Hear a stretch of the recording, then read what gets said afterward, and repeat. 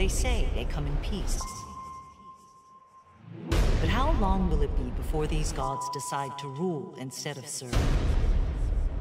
Earth's traitors will burn. A calling is something that is within you. We have a duty to be where we need to help. You are what we've been waiting for.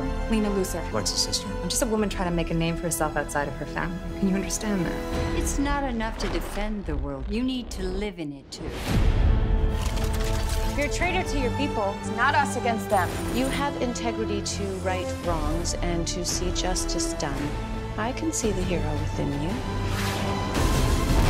We have given our lives protecting the people of Earth. The ego of gods. This is their weakness. Then it begins. Supergirl, Mondays at 8, 7 central on the CW.